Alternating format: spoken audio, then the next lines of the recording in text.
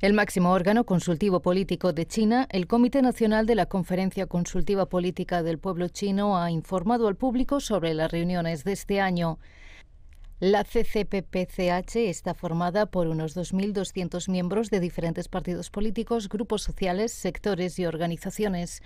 Sus funciones más importantes son las consultas políticas y la supervisión democrática.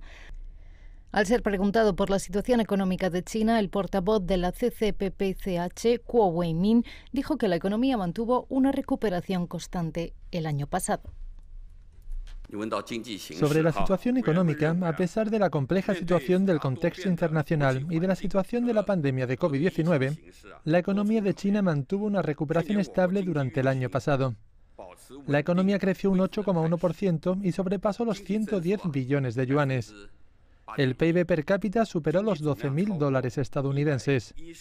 Los indicadores muestran que los fundamentos económicos que sostienen el crecimiento a largo plazo permanecen sin cambios.